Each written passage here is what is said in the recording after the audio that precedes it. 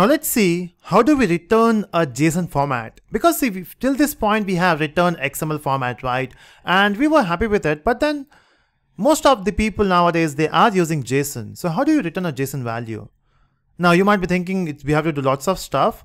Uh, not exactly. We don't have to do much about much about this. What you, what we have to do is if you think if you see this uh, produce uh, annotation this produce actually takes an array of uh, XML, I mean the array of media type. We are specifying only one, right? If you want to specify multiple media type, what you can say is, in fact, first of all, let's say I don't want to use XML, I just want to fetch JSON. Okay, we'll see how to do both, but then time let's focus on JSON. So I'm not producing an XML, I'm producing a JSON. Now, will it work? If I'm if I'm sending a JSON, and if I go back to my uh, if I go back to my postman let's verify. I'm sending a JSON request and we got an error. See there's no error with the response okay? The problem is with the with the server itself. On the server side we are getting error which is 500 so whenever you say 500 it means that there's there's something wrong with the server.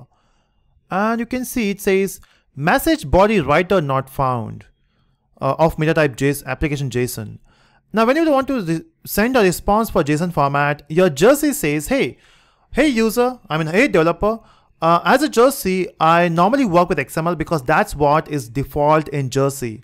If you want to send JSON, then you have to use external dependencies. Oh, now that's the thing. We have to download some external dependencies for that. Oh, that's lots of work, right? But don't worry. Jersey also says, I have done, done it for you, don't worry. What you have to do is, in fact, if you go to the POM XML file, if you just go down and down, you can see we have dependencies for Jersey container, we have a, a dependency for this Jersey. We, are, we have one more dependency which is called as Jersey Media MOXy. And that is in commented state. If you can just uncomment it, you will be getting this dependency in your in your Maven in your Maven dependencies where you can find it here. If you go to library, if you go to Maven, and you, and you can see we don't have MOXy as of oh, we got it. I, I, guess we have saved this file. Okay, so you, you can see we got Media MOXy. This is what we want, and the server is also restarted. We just have to add that particular dependency, and if you send a request, okay, it's, it's sending, it's sending, waiting for the response, and can you see that we got a JSON response? And JSON response looks much, much cool. I mean, cooler than uh, what, what you say XML, right? So this looks good. So this is how you return a JSON. But what if I want to send a request for XML now? Example, if I go to my uh, get request, if I again so go for get request here, and if I send a request, so this time I'm sending a request for JSON, but if I send a request for XML, and if I say send, you can see we are getting error, which is 406. So you have to mention what type of data you're sending. So for that, you have to again go back and you have to say, make it XML. But that's an issue, right? What if you want to provide both? So depend upon user, some people will say I want XML, some people will say I will I want JSON. What you can do is you can just put them in put them in an array, and in this array you can specify two types. One is JSON, and the second media type would be second media type dot. It will be XML, so that depend upon what user ask for, if user ask for JSON, if user ask for XML will return whatever user ask, right? This is what you call as content negotiation. You are, so this client and a server, they are negotiating the, the content, what type of content they want. Let's go back to the postman. And now I'm sending an XML request. It works. Now let me send a JSON request.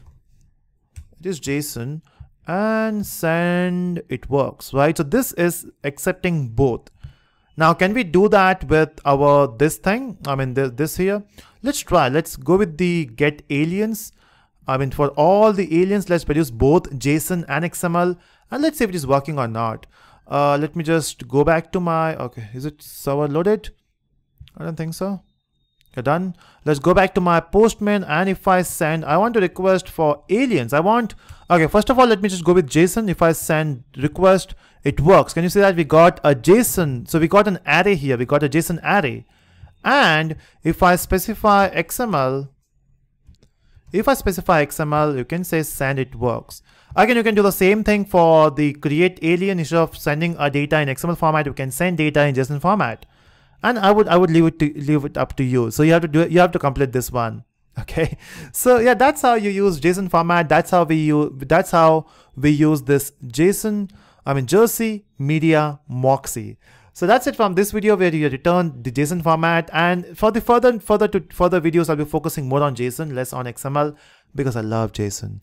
So that's it. Uh, that's it, guys. That's it from that's it from this video. We'll see you in the next video, and we'll talk about something else. Thank you so much for watching.